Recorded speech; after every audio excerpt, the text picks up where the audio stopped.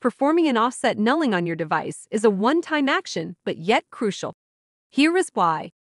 Temperature and humidity variations affect the performance of electronic circuits and optical detectors. Nulling the electrical offsets eliminates these effects.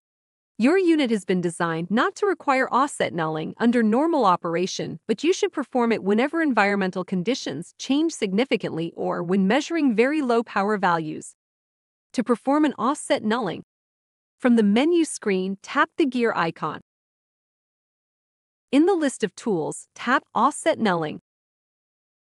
Close dust caps and tap OK. If no light detected, the unit displays a checkmark indicating the nulling is completed. Then tap OK to return to the Tools List screen.